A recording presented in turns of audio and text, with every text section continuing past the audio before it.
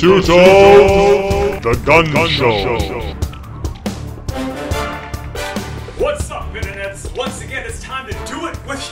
and I'm back with another In Pursuit of the Gun Show tutorial. Today I want to go through a quick overview of the hypertrophy training program I put together. For all the details and exactly why I put the program together this way, I'm going to put a link down below that you can click on, and actually I'm going to put a live link right here on the screen that you can click on as well, and that'll give you all of the details it's, uh, of the full program that you can download there for free. But let's get into the basics of the program right now.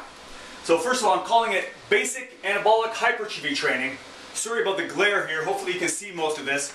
But basically it's a four-day split, so it's on a, based on a high-frequency training protocol. So we want to get two lower body workouts and two upper body workouts in each week. So alternating lower, upper, lower, upper. Now day one, we're looking at uh, squat variation, supersetted with a, a, hamstring or some form of knee flexion. I like to use the glute gastroc hamstring, the, the GHR machine. Now you can pick any variation of these exercises that suits you. The, the second pair of supersets is going to be a deadlift variation with knee extension or leg extensions. Again, if you don't have access to a leg extension machine at my home gym, I don't. Uh, I perform a, a single leg push variation, like a split squat or a lunge variation. And you're going to do something for core and calves on your lower body day. Now let's take a look at the upper body workout. You're looking at uh, vertical push-pull for your first superset. So that's going to be something like a pull-up supersetted with an overhead press variation. And then you're going to go to horizontal push-pull like a, a chest press row combination for your second superset. And then going to some isolation work for biceps and triceps at the end of the workout. Okay, then over here on uh, day three, uh, the, the second lower body workout, you're going to be supersetting, starting now with the superset of deadlifts and leg extensions. So now you're prioritizing the one that you did as a secondary superset on the day one. And then we follow up with squats and hamstring superset and finish off with core and calves the same as we did on the day one. And now again on day four, you're going to a horizontal push-pull superset as the first superset pair, which you did secondary here. And we're doing the vertical push-pull second on the, the day four workout. And then normally I would put my uh, some delt isolation work like lateral lateral raises or rear delts uh, here at the end. But since we're, we're prioritizing arms in this program, I'm going to do a, a second day of biceps and triceps.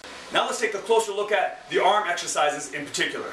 Since this is an arm specialization program, I recommend hitting your arms three times a week. High frequency training is what counts. Now the exercises also matter. So what we're looking at here is starting off with your biceps and triceps in a fully extended position. So you want to get that stretch position. If you're doing incline curls and overhead tricep extensions, you're hitting the, the biceps in that fully extended position at the shoulder joint as well. And you're getting the triceps as well in an overhead extension, getting them in that fully lengthened position at the shoulder. This could be done, to say, for example, at the end of uh, a day two upper body workout or at a separate time during that day. Um, this could be at the end of your day four workout or uh, again at another time during that day. Um, and doing your overhead cable curls. So now we're looking at doing uh, an exercise with like cable crossover machine or with uh, the lat pull down where you're, you're curling behind you or curling behind you from overhead position with a cable. Um, and then going to your long rope tricep extensions. So this is going to be where you're doing like a, a tricep push down, but where you can extend fully all the way past your body to get that fully shortened position at the shoulder joint for the tricep.